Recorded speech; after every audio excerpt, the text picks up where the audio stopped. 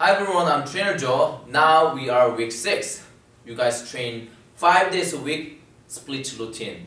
Until last week, we trained your full body 3 times or twice a week.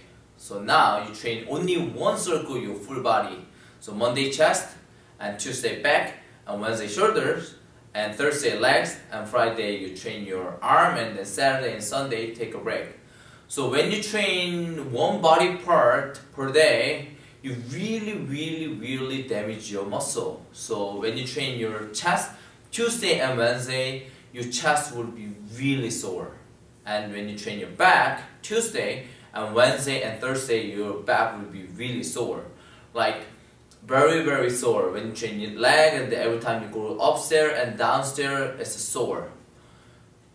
But that's not a bad feeling. That's great. You know, when how do you build muscle? First, stress your muscle, damage your muscle. And second, feed your muscle.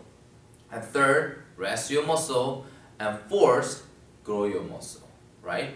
Beginning, we train, we stress your muscle, full body, little bit everywhere. Like a, uh, say first week, full body. One exercise for your chest, one exercise for your back, one exercise for your shoulders. So every part will be trained only once. Because beginning, it's really hard to push yourself so much because it's so sore. Beginning, it's hard to take that feeling in advance, advantage, right? Now, you guys build up your strength and your uh, commitment as well. So, more damage your muscle part and more rest your muscle, you can build more muscle. So we are doing this on very advanced level. So when you feel the soreness, muscle soreness, delayed onset muscle soreness, DOMS, so this is not bad feeling. Try to feel like, oh, I'm getting a lot of paycheck, you know?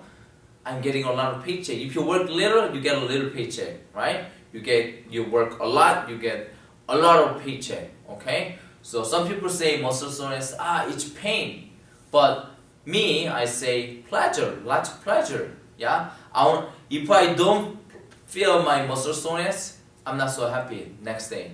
I really want to feel my muscle at least three days. That way, oh, I'm getting a lot of paycheck.